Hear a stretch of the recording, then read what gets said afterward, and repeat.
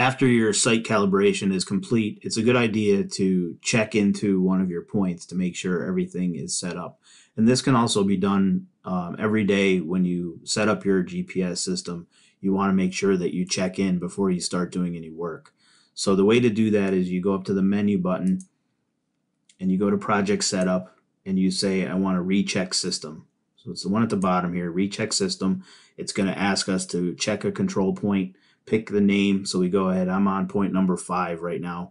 So I'm, I'm plumbed up on point number five with my rover. I'm going to choose that one.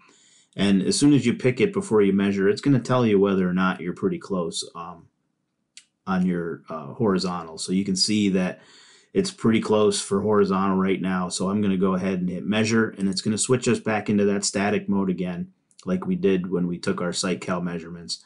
And we're just going to make sure everything is the same. And you, I have it set to five, um, which is pretty quick, um, but just for this video. But you know, you may want to do uh, 10 seconds or 15 seconds on this. I'm just going to go ahead and do five for this one and hit start. So it's going to just count down for five seconds. It's going to give us our current precisions and it's going to spit out an answer here for us. So you'll see that it gets a green check mark. The precision of the position is intolerance. So it's showing me that I'm within two hundredths, two hundredths, and almost three hundredths on my vertical.